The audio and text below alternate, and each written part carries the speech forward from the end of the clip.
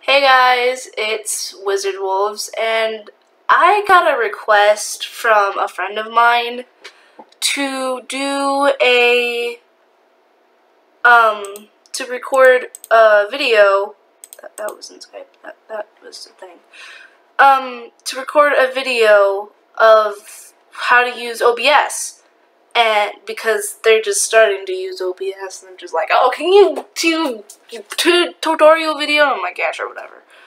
Um, whoops. Crap. Crap. Crap. Crap. It's nice. Crap. I don't care. Crap. Crap. So this is OBS or Office. I don't remember what it's called, but if you want to download it, you could go to OBS. Uh, OBS, look it up. Open Broadcaster software, and then go there and download it.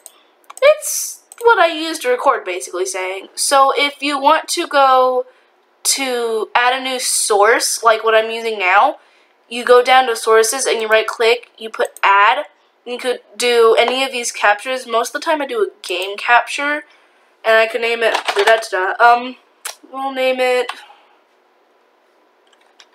I don't know, what should I name it? I just have one for GIMP, so I'm going to put GIMP. I'm going to click OK. And here I could go capture specific window, should probably open up GIMP. Um, and then I'll have a window, um, and it'll come up when GIMP comes up, but it's just doing the startup, so. And then you could do whatever you need to. Take off capture cursor, because most of the time people don't like seeing your cursor because like say you're playing Minecraft and you need to go to Skype to talk to someone and you're recording and so you just see the mouse moving around and it's still in the Minecraft screen. You're just like what the heck?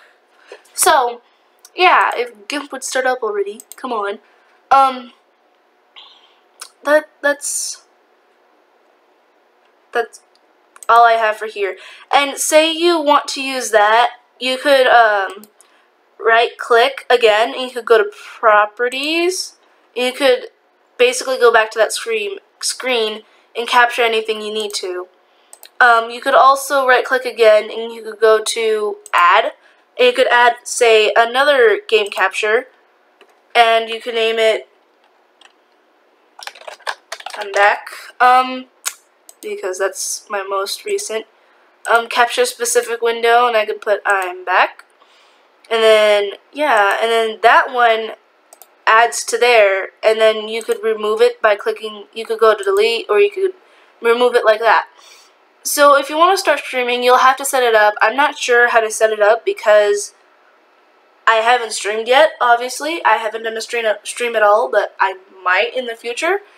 And then if you want to start or stop recording, you could do, you could click the start or stop recording, or you could go to settings you can go down to hotkeys, and it'll have start recording, stop recording. You can put enter or delete.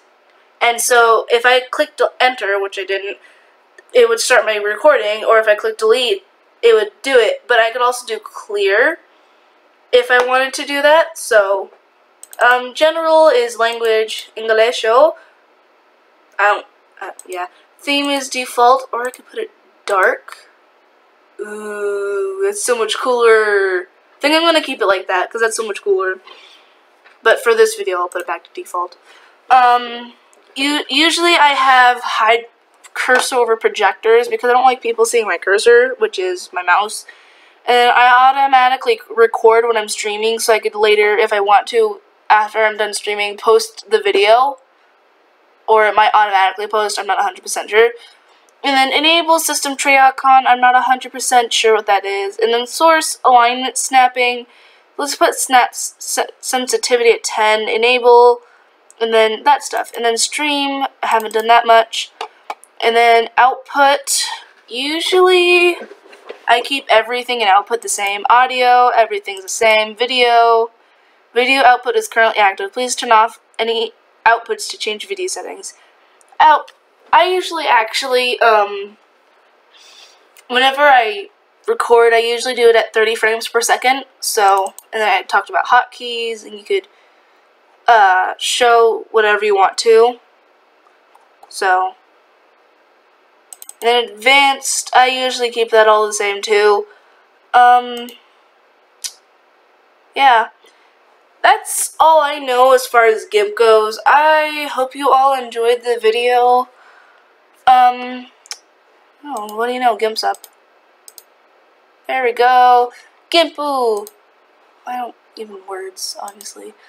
Um, but yeah, I hope you all enjoyed this video. I, if you requested, I might do more tutorials. I'm not 100% sure.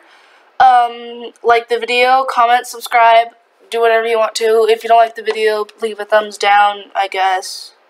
It'll give me feedback to on what content I should make. But I hope you all enjoyed this video. Until next time, guys. Bye!